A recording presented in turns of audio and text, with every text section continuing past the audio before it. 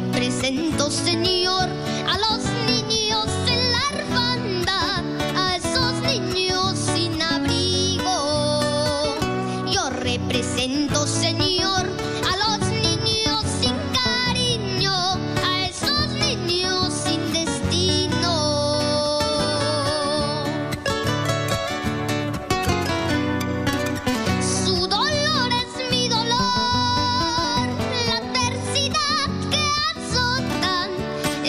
tiernos.